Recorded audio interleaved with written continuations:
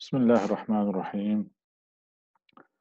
آه نبدأ محاضرتنا لهذا اليوم آه بتسريحات التعادل آه أو منحنيات تسريحات التعادل لحامض متعدد البروتون أو نسميه polyprotic acid مع آه قاعدة قوية.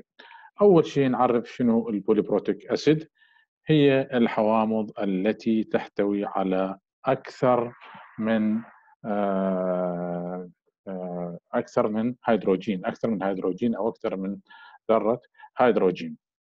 ويمكن أن انت إيش؟ يمكن أن تتعين على شكل إيش؟ على شكل مراحل.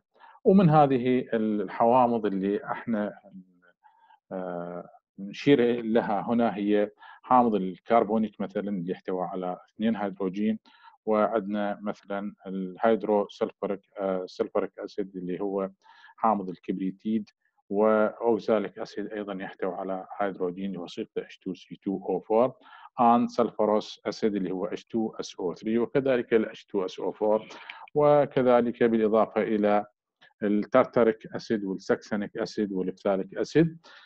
يعني كل حامض آه، بإمكانه أن يعطي آه، أكثر من بروتون.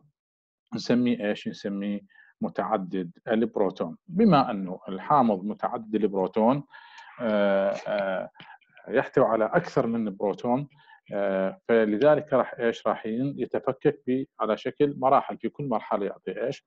يعطي بروتون هذا راح يقودنا إلى إيش؟ إلى أنه هناك عندنا كل عملية إطلاق بروتون راح إيش؟ راح يصير عندك فيها نقطة تكافؤ وكل عملية إيش؟ إطلاق بروتون راح يصير عملية إيش؟ حساب إلى constant ثابت.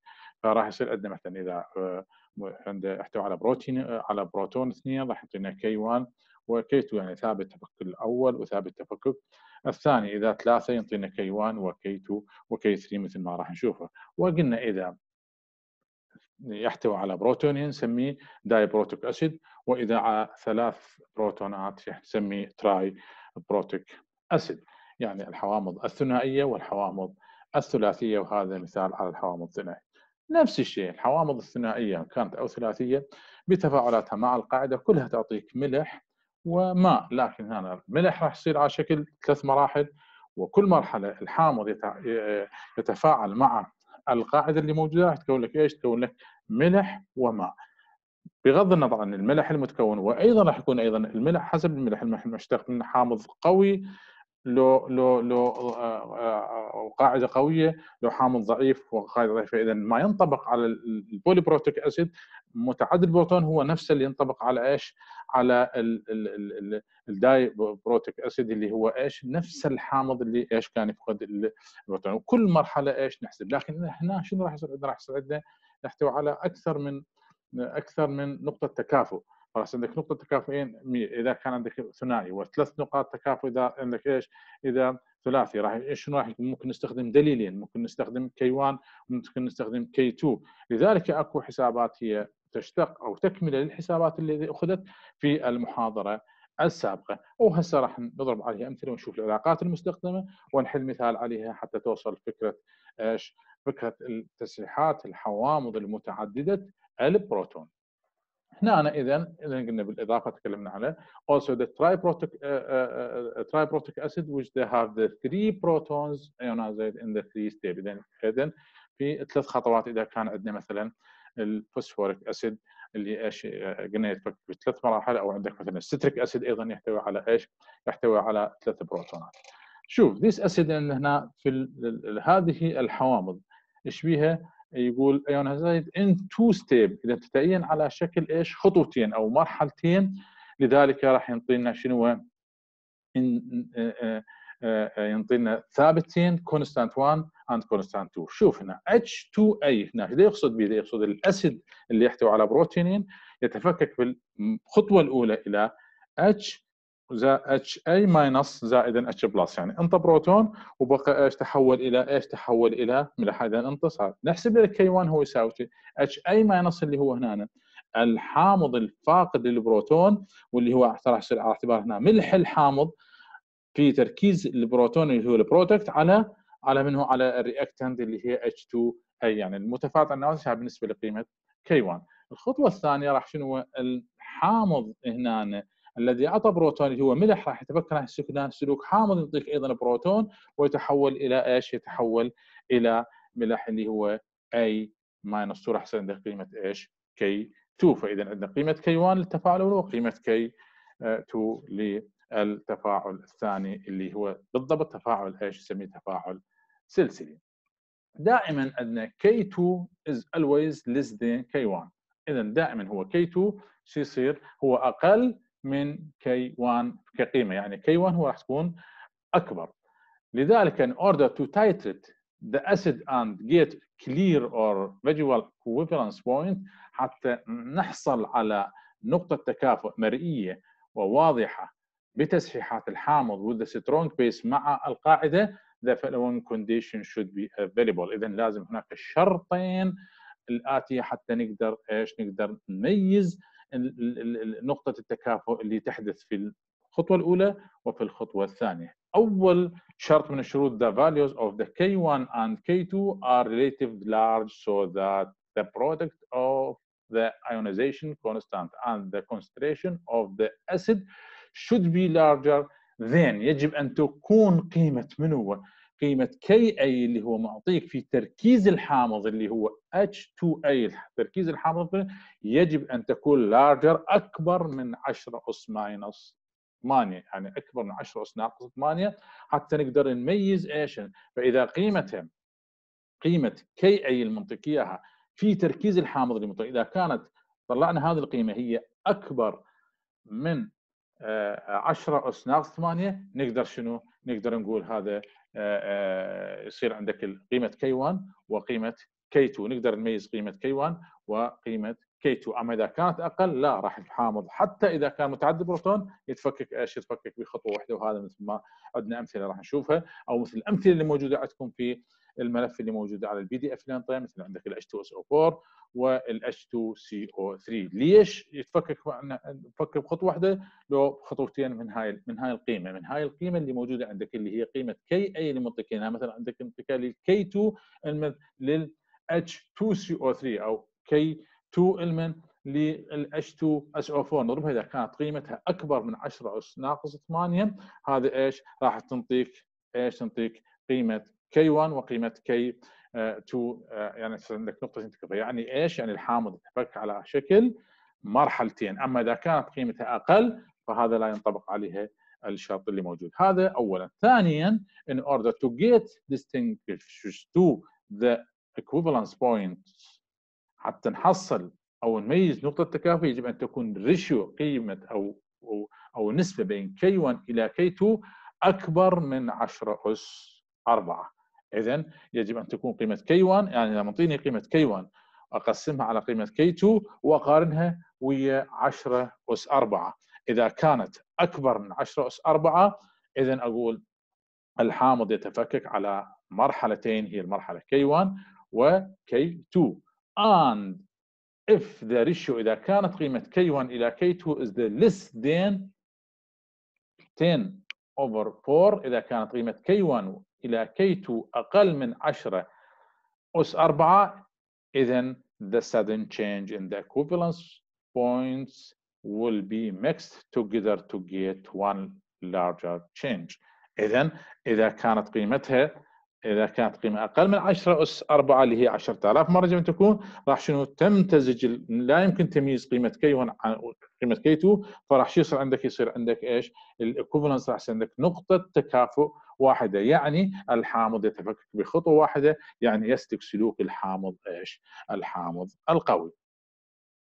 نفس الشيء طبعا إحنا هنا قلنا عملية إيش؟ عملية ال neutralization curves of titration curves إذا عملية إيش؟ إحنا نبدي عملية تسحيح من هو الحامض المتعدد اللي راح نخليه بال conical flask ويا من ويا strong base اللي راح نخليها إيش؟ راح نخليها بال burette أو في السحاحة بنفس الخطوات السابقة اللي أخذناها في المحاضرات السابقة هو before addition of the strong base يعني الآن عندنا حامض اللي حامض إيش؟ متعدد البروتون اللي هو H2A اللي يحتوي على بروتونين الان ما مخلينا إحنا مخلينا بال conical قبل إضافة ال NaOH إلى أو قبل إضافة ال strong base القاعدة إلى نحسب له قيمه شنو؟ قيمة البي اتش، كنا نعرف H2A قلنا يتفكك كما في المعادلة السابقة إلى HA minus زائد H plus اللي هو إيش؟ معادلة رقم واحد نحسب منها K1 يساوي لنا شنو تركيز ال product على تركيز ال reactant راح ينتج لك إيش؟ ينتج لك قيمة K1 from 1 H تقريبا عندنا دائما تقريبا تركيز H هو إيش يساوي يساوي بعدد مولاته فإذا راح يكون تركيز H يساوي تركيز من هو تركيز ال H A اللي هو تركيز acid minus اللي هو الملح الناتج. اذا راح يصير قيمة K 1 تساوي لك من هو H تربيع على إيش على ال acid. يعني تركيز الايش تركيز البروتون مربع على تركيز من هو؟ على تركيز الحامض المتعدد البروتون. لذلك راح يكون اذا اذا تركيز ال H يساوي تحت الجذر K1 H2A اللي هو آه، تركيز إيش؟ الحامض المتعدد البروتون. ناخذ اللوغاريتم لها راح نحسب لنا إذا نقول pH يساوي لنا نصف pKa ناقص نصف log اللي هو هنا H 2 A اللي هو يكافئنا في المحاضرات السابقة هو كنا نحسبها نقول بي اتش يساوي نصف بي كي اي أو بي كي بي ناقص نصف log هنا راح يصير سي أي هنا هو التركيز. السي أي الحامض هو من هو؟ هو H2 A اللي هو الحامض المتعدد البروتون.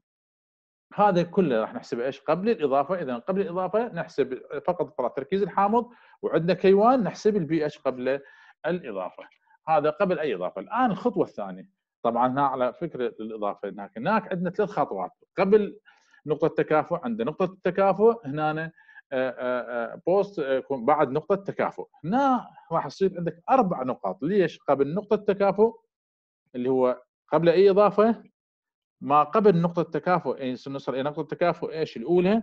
ثم من نقطة التكافؤ إلى نقطة التكافؤ الثانية وثم بعد نقطة التكافؤ يعني هناك عندنا ثلاث خطوات هنا يصير عندنا إيش؟ عندنا أربع خطوات يعني أربع يعني ما قبل يعني عندك نقطتين تكافؤ عندك أما إذا كانت راس عندك شنو ثلاث نقاط فعندك ثلاث آه، ثلاث محطات هنا في في في في التفاعلات الحامض الاحادي أما في الثنائي راح يصير إيش؟ راح يصير عندك أربع نقاط أو أربع مناطق نحسب نوعيه البي اتش الآن خلال during titration till before the first equivalence point الآن خلال إضافة قبل إيش قبل نقطة التكافؤ الأولى؟ يعني نضيف من بدينا نضيف؟ قبل الإضافة بدينا نضيف إلى نوصل نقطة التكافؤ الأولى.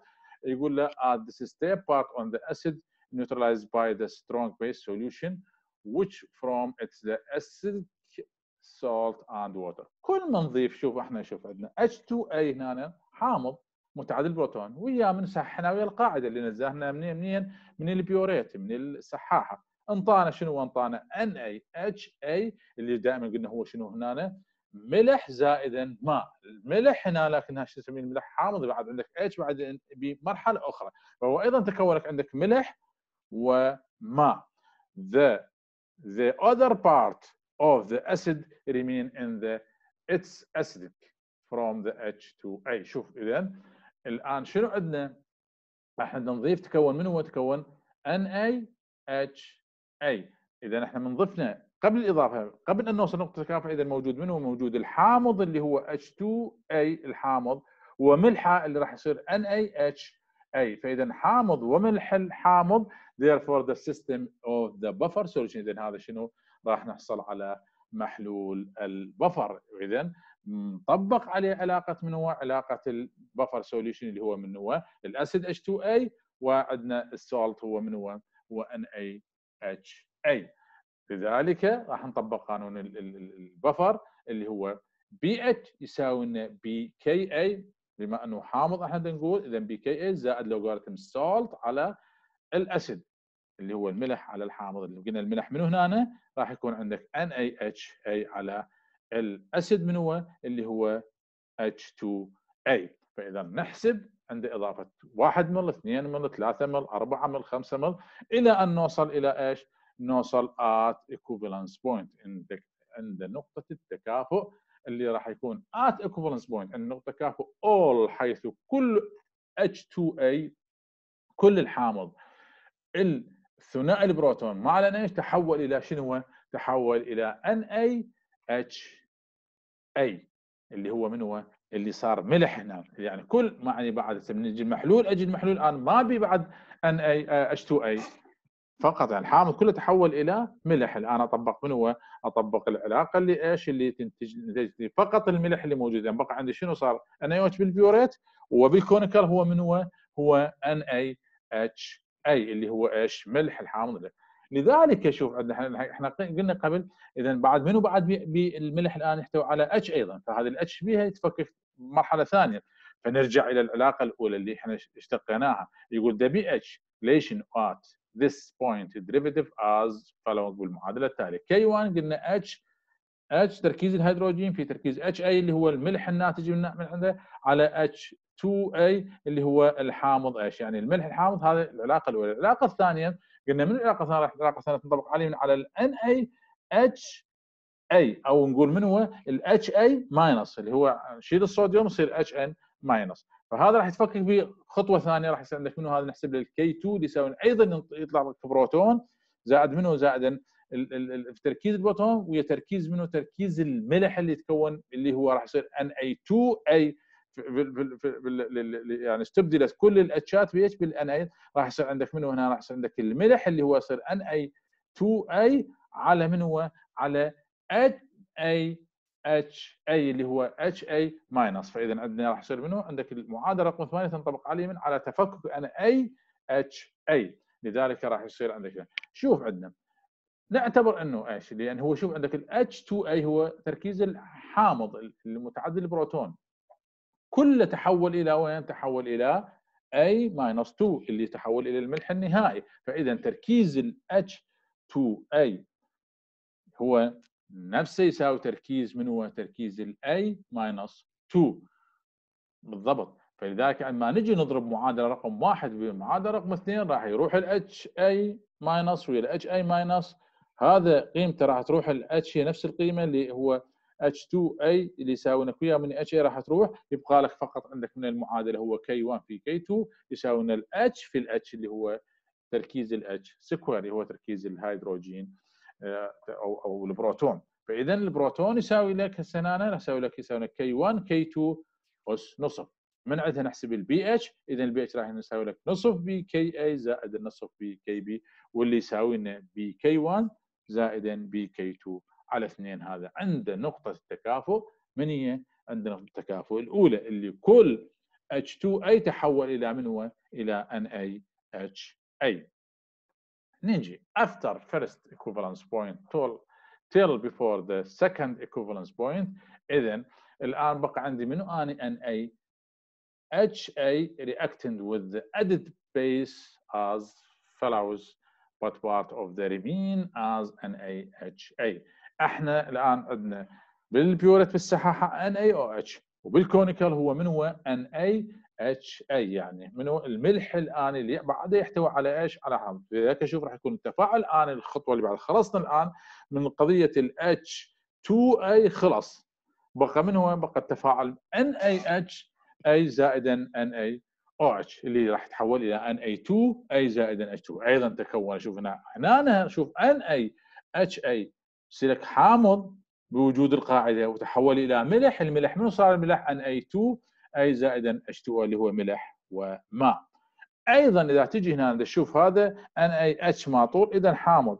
و Na2A ملح فاذا حامض وملحة. راح يصير عندك راح يصير عندك أيضا شنو هو؟ buffer solution فنرجع نقول بي اتش يساوي لنا pKa زائد لوغاريتم salt على ال acid. لكن تجي اذا بي اتش يساوي لنا هنا ال pKa ال acid راح يصير منه ليس pK1 إنما pK2 زائد ال log Na2A اللي هو صار الملح الناتج على ال Na HA هو من هو هو الحامض. فراح نحسب إيش؟ راح نحسب راح نحسب البي اتش اللي هو ما بعد نقطة التكافؤ الأولى وإيش؟ وقبل نقطة التكافؤ الثانية. اذا وكذلك نرجع إيش؟ إلى محلول buffer. اذا خلصنا الآن. قبل نقطة التكافؤ الأولى حتى نقطة التكافؤ الأولى وصلنا نقطة التكافؤ الأولى بعد نقطة التكافؤ الأولى الآن عند ما بين نقطة التكافؤ الأولى إلى نقطة التكافؤ الثانية ضفنا إضافة وحسبنا شنو محل البفر at second equivalence point عند نقطة التكافؤ الثانية إيش راح يصير عندك؟ راح يصير عندك خلص كل ال NaH أي تحول إلى إيش؟ إلى Na2A here all the NaHA is changed into تغير أو تحول إلى Na2 أي صار عندك منه فقط من هو الملح الموجود. نرجع هنا الملح إيش بيه هنا الملح. الملح إذا كله تكون إلى إيش؟ ملح. صار شوف ملح بعد بعد ماكو حامض هنا ماكو عملية تسويح ففقط الآن الموجود في الكونيكل هو الملح والماء. هذا الملح إيش بيه قلنا إذا يصير به هيدروليسيس فإذا إيش راح يصير عندك؟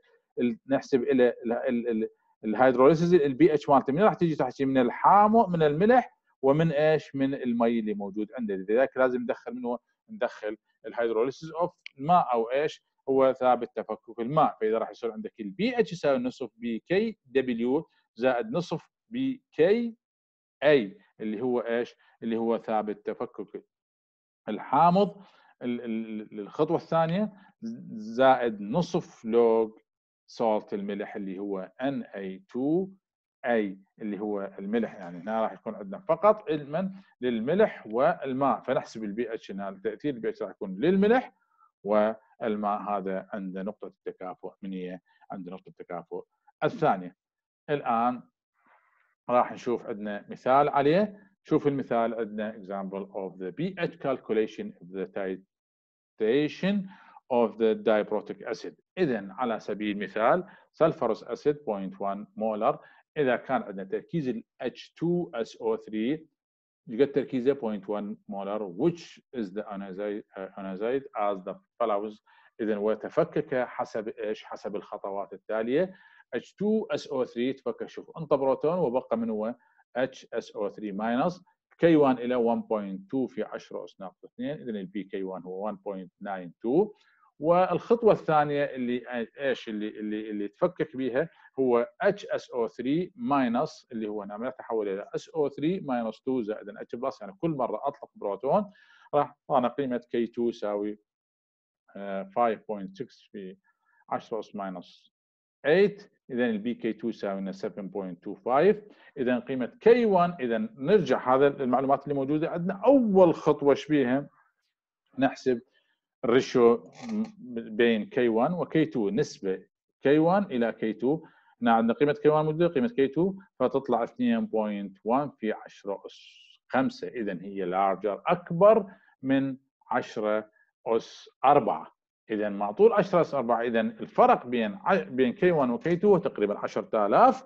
مرة. Therefore the titration can be done in two separated steps. إذا هنا ممكن أن نفصل نفصل إيش؟ الخطوات إلى إيش؟ إلى خطوتين يعني يتفكك بمرحلتين هي كي 1 وكي 2 الخطوة الثانية اللي هو يجب أن نتأكد من هنا يقول هنا شوف the, the second of that can, cannot be titrated in, in less than concentration should be not be less than 0.2 يجب أن يكون هنا تركيز ال H2SO4 إيش قد؟ أقل من لا يكون أقل من 0.2 ليش؟ لأن إذا شفنا إذا كان عندك شوف 0.2 هنا شوف K2 في H2SO3 هنا شوف. 5 في في إيش؟ في 5.6 منه هذا قيمة شنو؟ قيمة ال K2 في point 2 راح يعطيك 1.12 في 10 اس ناقص 8 يعني يجب أن يكون تركيز إيش قد؟ تركيز يعني point 2 يلا تكون إيش؟ تكون أكبر من 10 اس ناقص 8 حتى إيش؟ حتى نقدر نميزه. the product is larger than إيش؟ 10 minus minus 8 اذا 10 اس ناقص 8 لازم شنو يجب أن يكون تركيز ال ال ال تركيز ال point تركيز ال H2SO3 هو إيش؟ هو should be أن يكون لا يكون أقل من 0.2 لأن إذا كان 0.1 إيش قد راح يطلع لك؟ راح يطلع لك 0.5 إذا كان 0.1 راح يطلع لك 0.5 مو؟ إذا طلع لك من يطلع لك 0.5 إذا طلع يطلع point 5 في 10 اس ناقص 8 راح يكون يكون أقل من 1 في 10 اس ناقص 8 فلذلك راح شنو؟ راح يكون. زين؟ فهنا أنا أشوف طلع شنو هو؟ 0.2 يلا طلع لي هو أكبر من 10 اس ناقص 8 the protocol is larger than 10 اس ناقص 8 this the titration can be carried out. pH the titration at the first equivalence point. فإذا شنو راح يكون عندك هنا راح يكون عندك إيش اذا اذا titration the first equivalent عند نقطه التكافؤ. الأولى فإذا كان تركيزه إيش قد لازم point 2 يلا إيش؟ يلا تقدر تقول يتفكك على شكل إيش؟ خطوتين. هنا البي اتش راح يسوي pK 1 زائد pK 2 على 2 يساوي لنا إيش؟ هذا عندك نقطة التكافؤ. الأولى أما عند نقطة ال second عند نقطة التكافؤ الثانية فبي اتش راح يكون نصف بي كي دبليو زائد نصف بي كي اي زائد لوج من هو Cs اللي هو تركيز الملح. عندك ال pKw هو 10 ناقص 14 pK 2 عندنا موجود عندنا K 2 زائدا تركيز من هو تركيز عندنا نصف log Cs اللي هو من هو تركيز الملح اللي موجودة عندك. 0.1 فأقدر أحسب قيمة البي اتش اللي موجودة عندي. هذا إيش؟ مثال على إيش؟ على حساب قيمة بي اتش في كل خطوة من هذه الخطوات. شوف عندنا مثال آخر هو شنو؟ ال pH calculation of the titration of the triprotic acid. هنا عندنا من عندنا الحامض الفسفوريك اللي هو يكون إيش tri ثلاثي البروتون فيتفكك على إيش؟ على شكل ثلاث مراحل. ف H3PO4 يعطينا H2PO4 minus زائد H plus وعندك K1 و pK1 موجودة. وتفكك إلى H2PO4 minus PO4 minus الان الخطوة الثانية هو H2 PO4 minus تفكك إلى إيش؟ كل مرة ينطي بروتون وإلى حسابة قيمه حساب قيمة K إلى K1 و K2 مثل ما تشوف قدامك أول شيء نحسب شنو إحنا قلنا لازم حتى أكو فرق بين من قيمة ال ratio قيمه ال K 1 إلى K 2 نحسبها. فقيمة K 1 إلى K 2 موجودة عندك هنا القيمة. فتطلع لك 1.2 في 10 أس 5 اذا هي أكبر من 10 اس 4 فاذا الشيء يصير؟ راح يصير عندك واضحة راح يصير عندك واضح عملية إيش؟ عملية نقطة التكافؤ الأولى ونقطة التكافؤ الثانية. يعني حسب عندك تغيرين وليس تغير واحد. يعني راح يسلك سلوك إيش؟ تفكك على شكل مراحل. And K2 إلى K3 بنفس الطريقة راح يكون عندك 1.2 في 10 أس 5 اللي هي أكبر من 10 أس 4 لذلك راح تكون إيش؟ راح تكون عملية تغير وعملية تغير إيش بنقاط يعني كل مرة نقدر ناخذ آه، آه، نقطة تكافؤ وعندك إيش على شكل مراحل إيش يعني يشبه الحامض الضعيف يعني يتعدى على شكل مراحل وليس مرحلة واحدة. اذا بنفس الطريقة كل مرة إيش نحسب؟ نحسب calculation of pH before addition of NaOH.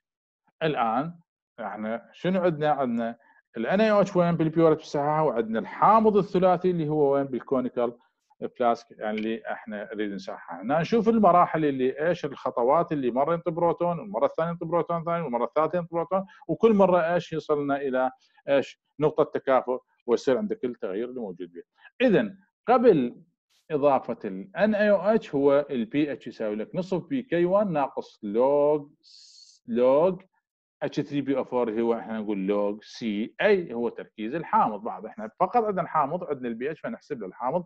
إيش قد تركيزه؟ نقدر نحسب له إيش؟ نحسب له التركيز مالته نحسب البي اتش قبل الإضافة. Calculation of pH after addition NaOH till before first equivalence إحنا نبغى نضيف 1 2 3 إلى أن نوصل. شوف عندك ال H3PO4 زائد NaOH راح إلى أن يوصل إلى نقطة التكافؤ الاولى يتحولك إلى NaH2PO4 زائد إذا سيتحول إلى ملح وماء هنا NaH2PO4 الملح هو H3PO4 من هو الحامض. Some بعض of the H3PO4 neutralization into تحول إلى NaH2PO4 هذا إيش راح يصير؟ هذا راح يصير we have the buffer solution of the H3PO4 اذا هو البفر سوليوشن يتكون من H3PO4 زائدا صوت الملح اللي هو NaH2PO4 اذا عندي ملح وحامض وبما انه عندي ملح وحامض وملحه فإذا راح يكون أقول هو هذا buffer solution إذا أقدر أطبق علاقة ال buffer solution هي البي اتش تساوي pK 1 زائد لوغاريتم لوج ان اي اتش 2 بي أو 4 اللي هو من هنا ال salt على اتش 3 بي أو 4 هنا ال acid وأحسب قيمة إيش؟ قيمة البي اتش قبل آه، وصول إلى نقطة التكافؤ.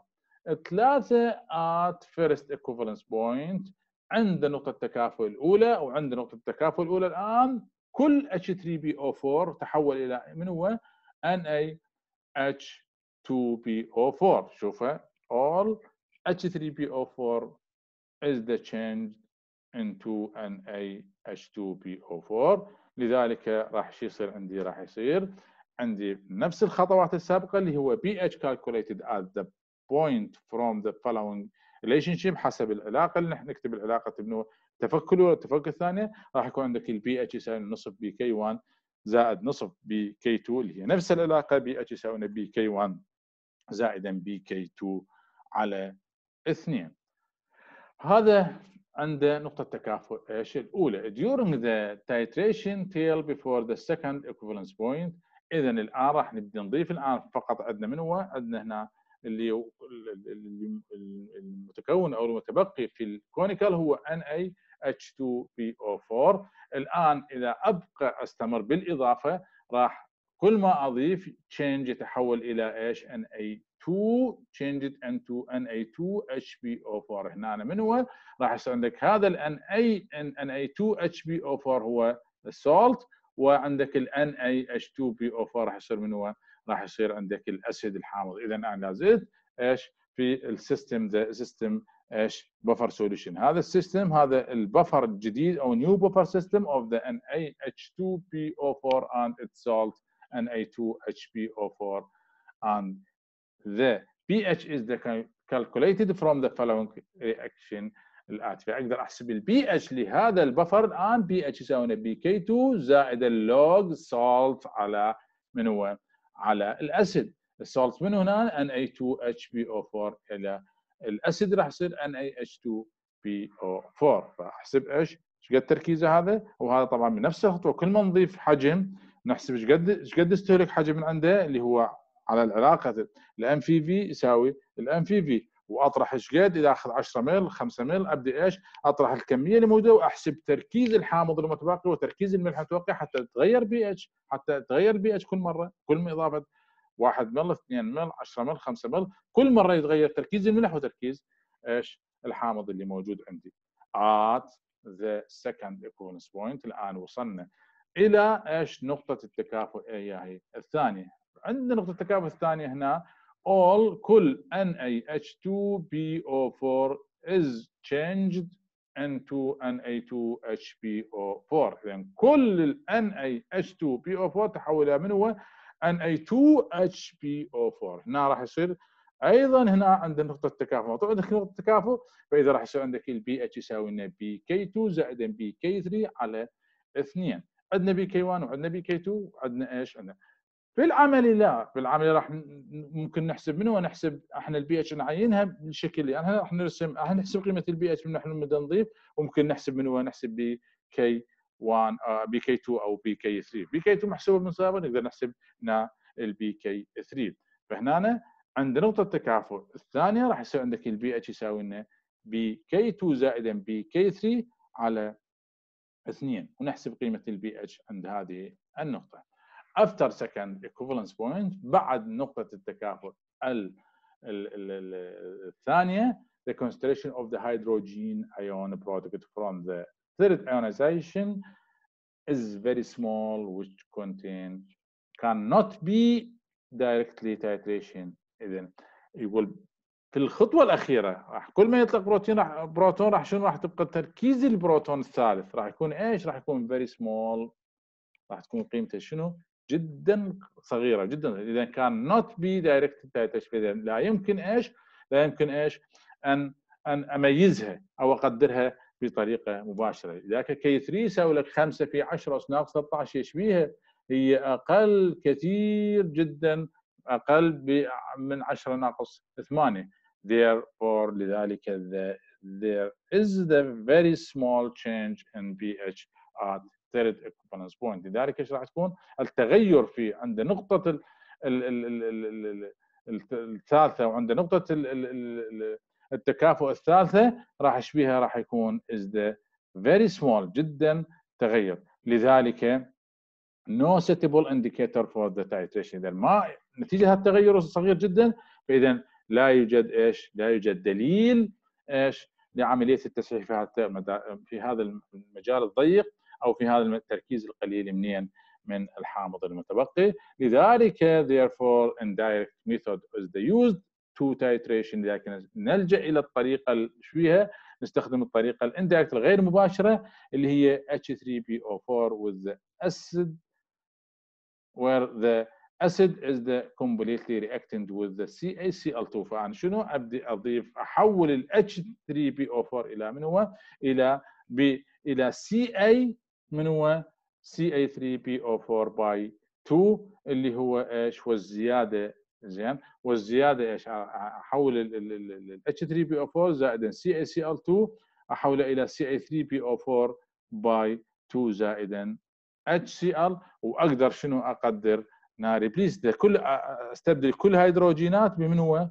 ب بالسي اي فلما بدلت السي اي فايش قد قيمتها أنا من أقدر أقدر التسحيح أقدر البروتون فراح البروتون الزايد اللي هو تكون HCl أقدر اسححها ويا من اسححها ويا with the standard standard NaOH solution أقدر اسححها ويا من؟ اذا الهيدروجين المتحرر من استبدال البروتونات اللي موجودة بحامض الفسفوريك إلى اتش سي ال أقدر أقدر إيش قد موجود عندي اتش سي ال إيش قد استهلك من ان أو اتش أقدر أقدر تركيز الاتش سي ال اللي هو يساوي التركيز من هو؟ تركيز ال H3PO4 اللي إيش؟ عدد البروتونات اللي موجودة عندي. فأقدر تركيز الاتش سي ال ومن تركيز الاتش سي ال أقدر أحسب نسبة تناسب أحسب التركيز من هو ال H3PO4 شوف عندك هذا الشكل الرسم إذا جينا إحنا نرسم لثلاث منحنيات المنحنى الأول اللي هو تغير واحد اللي هو من هو؟ C اللي هو H2SO4 قلنا لأن نسبه K1 و K2 ما توافي الشرطين اللي موجودة هي قيمة K1 إلى K2 وال Ka في تركيز الحامض. المتعدد البروت لازم شو يكون؟ يكون larger أكبر من 10 ناقص 8 فإذا ما يحقق الشرطه راح إيش راح يكون؟ ويسلك وكأن سلوك حامض قوي يتفكك بخطوة واحدة مثل عندك الخطوة C اللي هو H2SO4 ال H2C2O4 لا شوف عندك إنها في B هو إيش B إذا جينا طبقنا خطوات لا يتفكك على مرحلتين قيمة K1 وقيمة K2 لأن ما تحقق الشروط اللي موجودة عندنا هي قيمة قيمة ال ratio K1 إلى K2 وكذلك قيمة ال Ka في التركيز لازم تكون إيش؟ larger أكبر من 10 اس ناقص 8 فراح يكون إيش؟ على شكل خطوتين للتفكك اللي موجود عندك. وأما ال A إن الشكل A هو اللي الاتش 3 بي أو 4 شوفه يتغير على شكل. ثلاث خطوات أو ثلاث محطات اللي موجودة هي عندك اللي موجودة في شكل اي عندك K1 وK2 وK3 وشكرا لاصغائكم وإن شاء الله نكمل في محاضرتنا القادمة. هو موضوع الأملاح المشتقة منين؟ المشتقة؟ من متعدد الحوامض المتعدد البروتون.